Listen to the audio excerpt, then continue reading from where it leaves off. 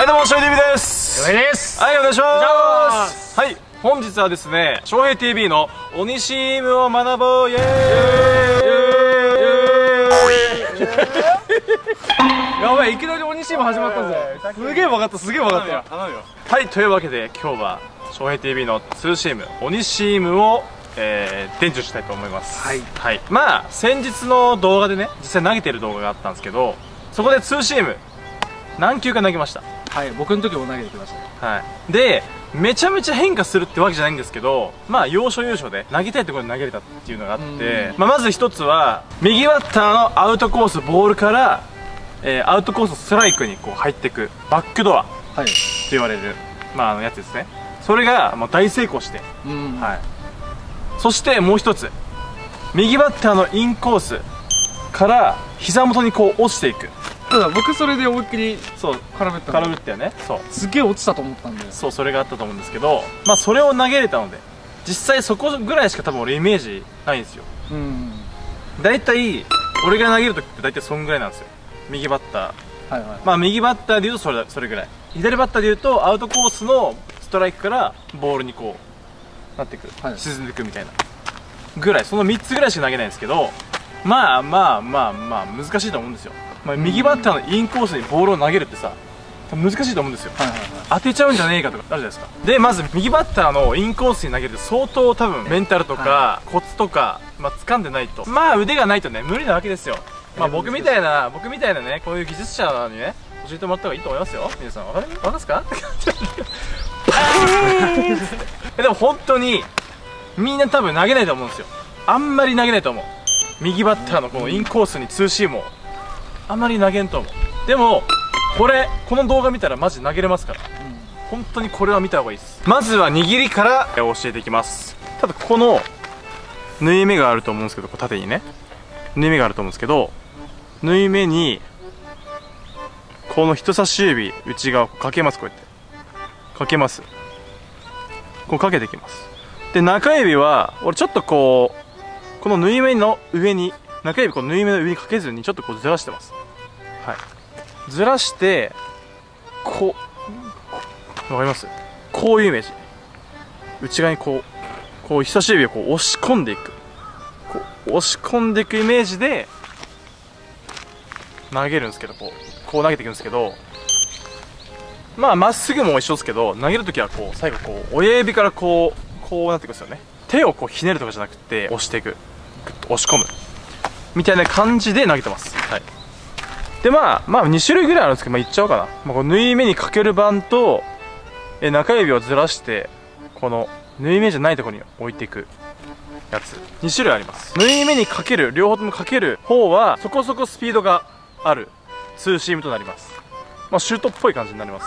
そして中指のこちら縫い目を外すのはちょっと急速回転数は落ちますけど変化はちょっとそこそこ大きい。感じです。その2種類があります。リリースのコツなんかありますかみたいな感じ。リリースのコツは、まあ、今言おうと思ったんだけどすいません。もちろんスライダーと一緒で前で離す。こう離すリリースの瞬間あるじゃないですか。瞬間この人差し指でこう押し込む。こう。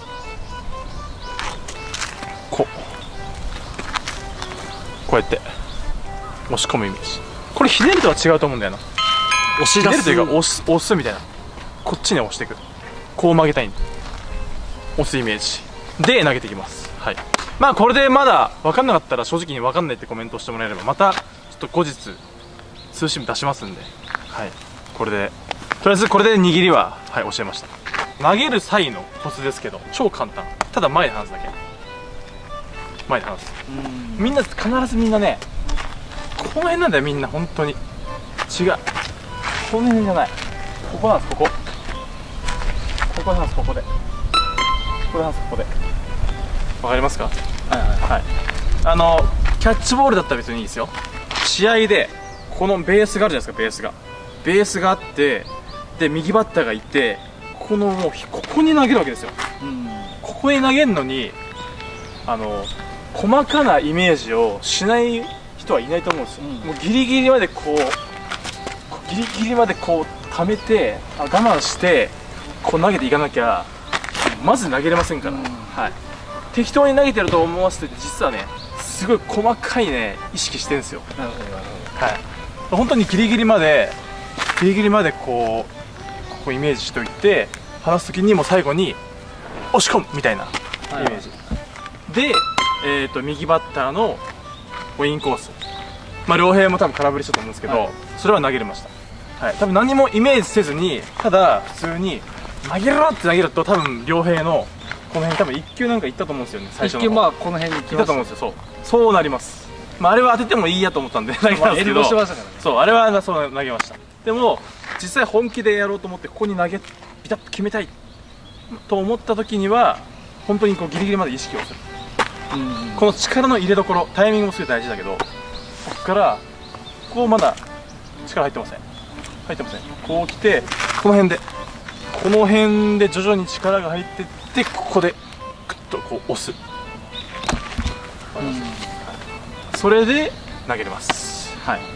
まあもちろんねあの変化とか大事ですけどまずはキャッチボールとか、えー普通のストレートがちゃんと低めにこう集まっていかないとまずそこまでいかない。まあそうですね、うん。大前提として。そう。まずはえっ、とピッチングまっすぐがちゃんとコース内、まあ、ちょっとずれるぐらいでもいいけどにまとまってるピッチャーはやってください。はい。はい。もう普通にこうピッチングで投げててもうこう構える構えるでしょキャッチャー、はい構えるでしょ？構えててこんなところに投げてる人はもうやっちゃダメ。うんうんうんうん。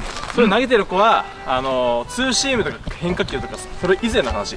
まあキャッチボールしっかりしてもらいたいな。本当に。まずそこをちゃんとしていかないともう投げれませんからそういう子がさインコースにツーシーム投げれるわけがない。はい。まあ見てる子で多分ねはい。いると思うんですよ。コントロールが悪い子いるんですけどそういう子はまずはこの動画を見る前にまずストレートとまずコントロールをしっかり磨いてはい。いきましょう。まあそれも一緒なんでね、うんそうですね、、変化球も前で離すでしょ。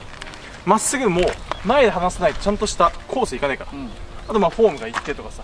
そこを覚えてからツーシームとスライダーの動画を見てほしいなと思います。はいでまあ正直にこの動画を見てあの変化球大成功しましたと。めっちゃ曲がりました。三振取りました。これは、まあ、あの周りの仲間にもすげえすげえ言われましたと。ね。そういう結果が出た人はコメントでちょっと書いてほしいなと。はい。思います。実際投げてるとこ見たいっす。動画見てる人が。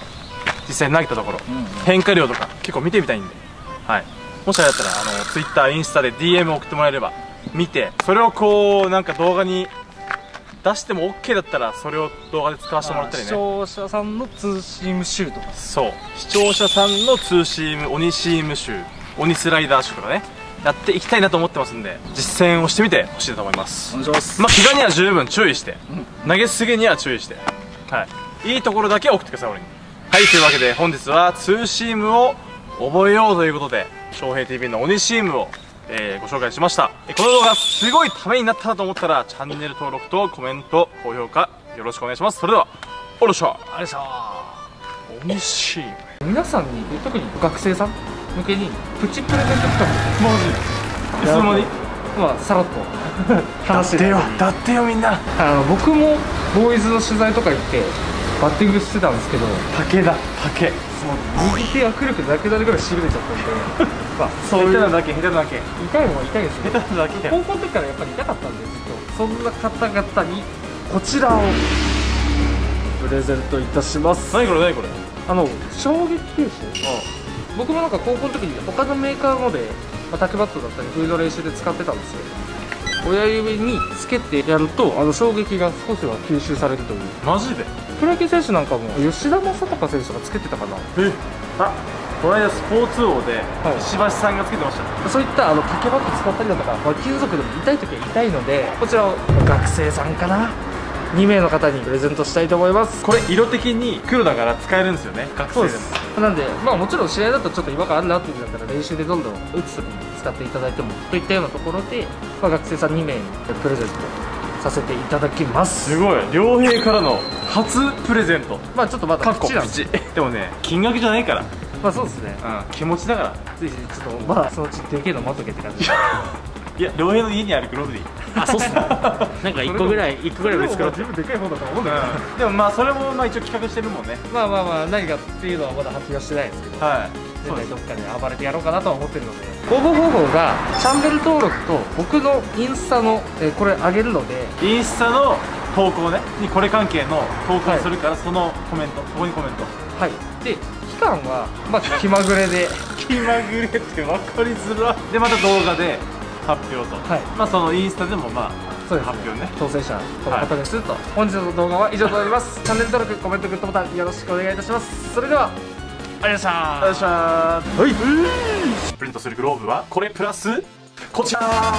見ますかねはいこちらこれはい。HZ プロステの源田選手モデルのこのバスケットウェブのグローブ。軟式用です基本的にチャンネル登録とはい僕らのインスタフォローは。必須ということで翔平 TV の、えーチャンネル登録者が8000人突破した。プラスモンタナさんの、えーインスタ、えー貼ってきますんで、えーフォロワー数が3000人突破したらプレゼント企画を開始とプレゼント企画のお知らせです。チャンネル登録8000人達成で、現代モデル軟式内野仕様をプレゼント、熱いコメントをしてください。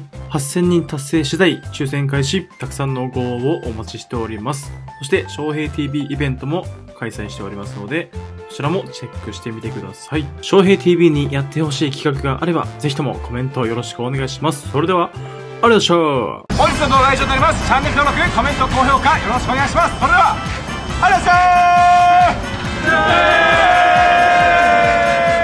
翔平 TV T シャツ販売走れ大井チャンネル。大井くんの T シャツも販売しております。モンタナスポーツのリンクから飛べますのでぜひともチェックしてみてください。皆様チャンネル登録はお済みでしょうか？チャンネル登録1万人まであとちょっと頑張っていきますので皆さん応援の方よろしくお願いします。それではありがとうございました。